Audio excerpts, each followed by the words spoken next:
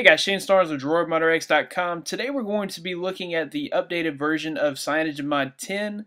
There are several new features that are coming to the table through the latest nightlies, so we'll go ahead and take a look at that as well. As you all know, CyanogenMod 10 is based on the latest, greatest version of Android 4.2.2. The thing is very light, it performs very well. As you can see, it flies through the home screens with no trouble, no lag whatsoever. You'll be able to uh, bring up your app drawer with virtually no lag whatsoever. This thing just runs very fast, very smooth. So I ran a couple of quadrant scores. This is on the Galaxy Nexus, so keep that in mind. We're only running dual core processor here. Uh, it's not overclocked or anything, and I'm still getting about 2200 on my quadrant, which is pretty fast. So the latest update of CyanogenMod 10 comes with a lot of new features. We'll go ahead and look at those starting with the newest edition. PIE Control is probably one of the most popular mods that's out right now. It started out on Paranoid Android. It's finally made its way into CyanogenMod. So as you can see, you'll need to enable expanded desktop. You'll have to press the power button to bring up the power menu, and uh, then you'll change your mode into desktop mode. and then you'll have your PIE control there. As you can see, it includes not only navigation functionality, but also your date, clock, and access to email and other notifications. So we'll turn it off just to make it easier to navigate through the settings. So another cool feature is the quick launch shortcuts.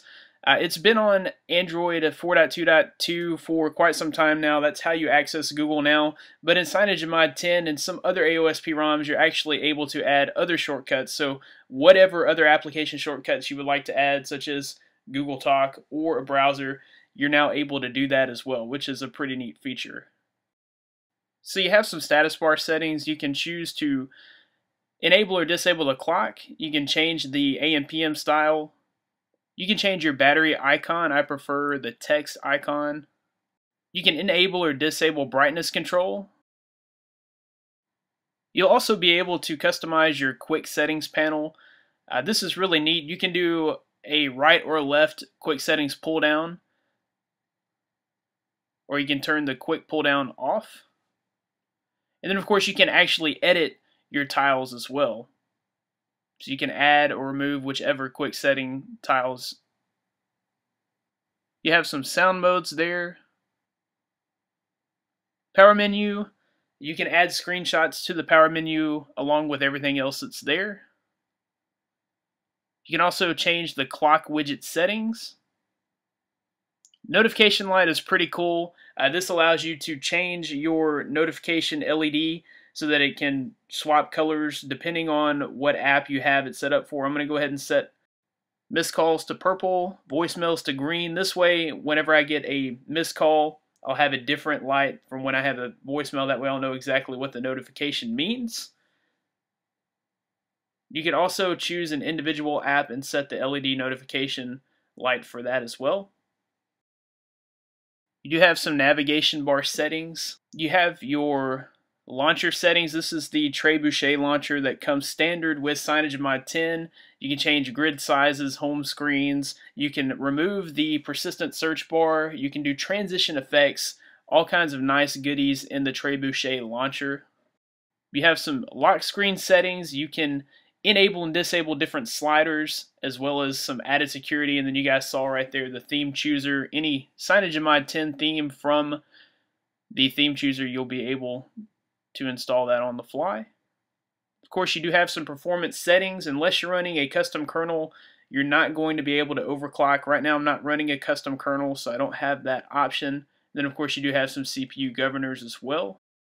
Of course, CyanogenMod 10 comes with a pretty sick boot animation as always. This is a CyanogenMod boot animation that we'll see from here on out.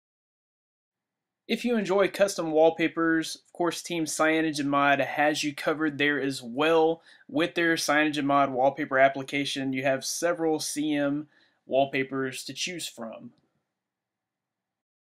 We'll go ahead and install this ROM. First you'll need to power your phone off and then boot into recovery. Once you're in recovery, it's pretty easy from there. You're going to wipe data, factory reset, then you'll just wipe cache. Then you will simply wipe Dalvik cache. When all your wipes are complete, you'll go ahead and install the ROM. So just install the latest nightly or whatever you have downloaded. Check to make sure that that is what you're installing. Then you'll swipe to flash. Then just be sure that you do install the G apps before you reboot the device and swipe to flash. When that's all finished, you will be able to reboot your device and boot into CyanogenMod 10. Pretty simple stuff.